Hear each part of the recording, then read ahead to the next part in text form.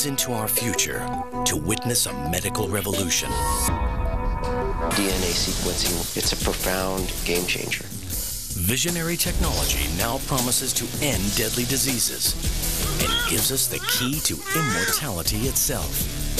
We knew that there was a way to intervene with aging at the genetic level. DNA can absolutely help feed and heal this world across the board. Spectacular new discoveries are revealing the true power of our genes. This is DNA, the next wave. Meet Dr. Joseph Chang. As a chief scientist of a privately funded lab, he's dedicated his life to nutritional intervention for the war on aging. What we are trying to see now is whether we can actually slow down the aging process in such a way so that these age-related diseases don't happen early on. We are trying to delay the onset of these diseases as much as possible. In these commercial labs, Dr. Chang is searching for a way his company can restore our bodies to a more youthful setting.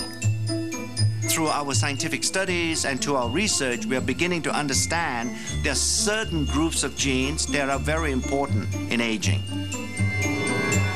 Instead of just talking about groups of genes, we thought by coining a term such as youth gene clusters, it would give a better definition of what we're trying to do in our research.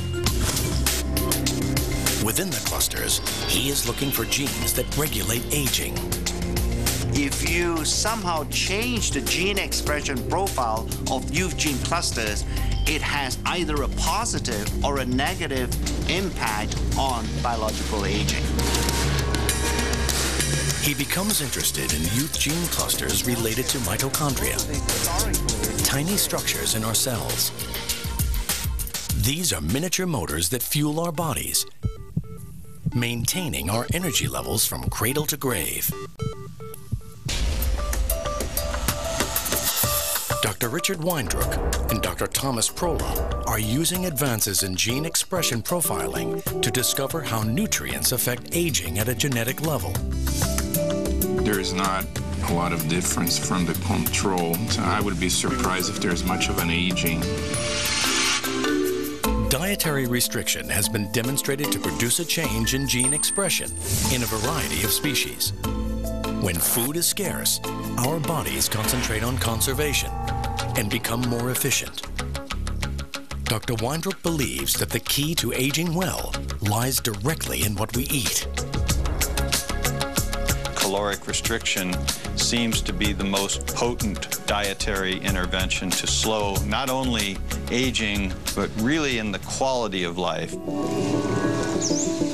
Dr. Weindruch wants to conduct a long-term study on the effects of caloric restriction on gene expression in humans. But time's not on his side. This experiment would literally take a lifetime. His next best option is our cousin species with whom we share a similar genetic makeup, monkeys. After two decades of research, the results are stunning. The diet-controlled monkeys are healthier and living up to 20% longer. Results show that the caloric restricted monkeys have an astonishing threefold decrease in age-related diseases.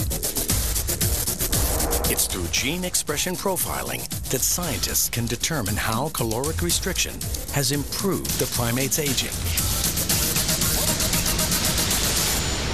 The effects of caloric restriction are clearly dramatic. Finding that these effects occur in primates and therefore most likely also occur in humans is really a major breakthrough.